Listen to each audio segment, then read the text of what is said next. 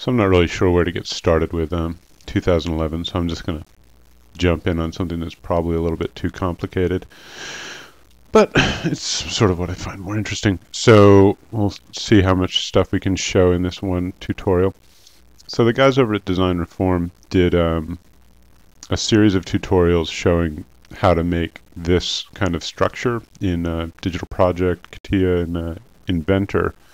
And uh, the basic idea is that you've got this frame element, sort of L-shaped thing, that tracks in an orderly manner along a set of guidelines. So it always maintains a sort of perpendicular relationship here, orthogonal, I guess. And then it has this flexible relationship here in the middle. This is something that was sort of difficult to achieve in Revit before, and I'm going to show you something about how you might go about doing it now. So I've got those same kind of tracking lines, that sort of guideline rig that they were using to have the frame move along. And I'm going to go and open up a new kind of family type that we've got. So I'm going to new, new conceptual mass. And conceptual mass now has like a little friend in here in the adaptive component.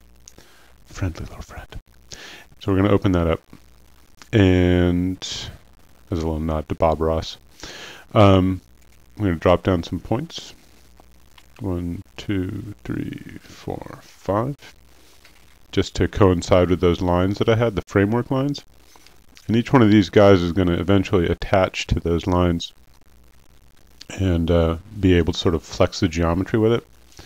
So I'm going to select all of them and I'm going to hit this make adaptive and what that basically means is that now all of these points are going to be able to orient to certain sort of contextual contextual cues within the environment that I load them into.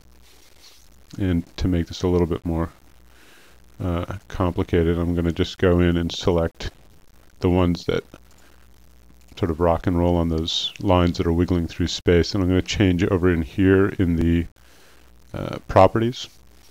We have point and point uh, placement point in here. Now there's two different kinds of adaptive points. You can get placement points and shape handle points. Placement points are going to be going to be prompted to use them when I place them in the project environment. Shape handle points are going to basically work like shape handles that you have in a regular family environment. I'm going to turn all those guys into shape handles. You saw all their numbers disappeared. Um, I won't really get into too much about the numbering. That'll come up later on. But what I'm going to do is uh, now I'm going to start building up my framework for my frame. So what I'm going to do is I'm going to start doing placing points on work planes of other points. And you'll see what I mean in just a second. Grab my points, my set work plane tool, pick, place, pick, place, pick, place and pick and place. Now each one of those points is now hosted on the work plane of another point. Oh, I think I want that one over in this direction. And this is all part of my needing to create a framework for that is orthogonal in the project environment. So you can see that my points move with the points that they're hosted on. Yeah. I'm going to connect all these guys up to each other. select two points that I want to connect, and I'm going to hit spline by points. I just get a nice little straight line through them. I'm going to walk around and just make a bunch of lines here. Yeah, this is too complicated for a first video, but what the hell. We'll jump in feet first.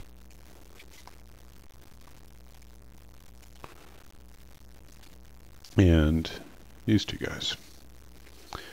And now what I'm starting to build up is, you can see my, my basic L-shaped framework starting to sort of accumulate here. Now what I have here is I have two lines that sort of overextend from each other. What I really want is I want that place where they intersect with each other. So this line is creating an orthogonal relationship going straight up basically. Well, it will be straight up when I load it into the project. And what I want to do is I just want to have it intersect with this one. So I'm going to put a point here.